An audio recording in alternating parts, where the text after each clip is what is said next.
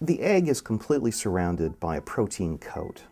And this protein coat, called the zona pellucida, serves many different uh, functions. But the first thing it does is to select which sperm is going to get inside. And it bases that selection on the shape of the sperm head and on the quality of that motility. It has to be strong, uh, swimming very strongly and very determined to get through this protein coat. Once that happens, though, the um, protein coat hardens up and prevents any additional sperm uh, from getting inside the egg.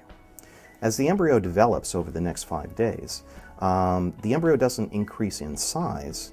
Every time the cells divide, they're half the size of the original cell. But this protein coat remains intact and helps keep all the cells together until it's the right time uh, for the embryo to uh, attach and implant.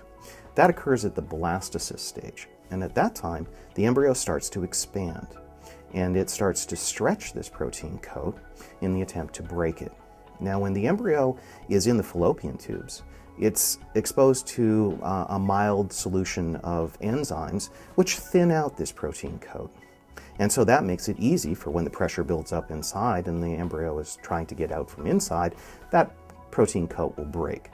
We don't have that, those same conditions inside the laboratory.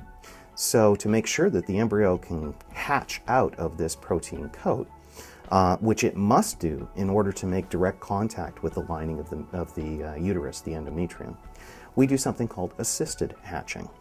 This is where we make a hole about a third of the way around the equator of the uh, protein coat so that it can open up much like Pac-Man.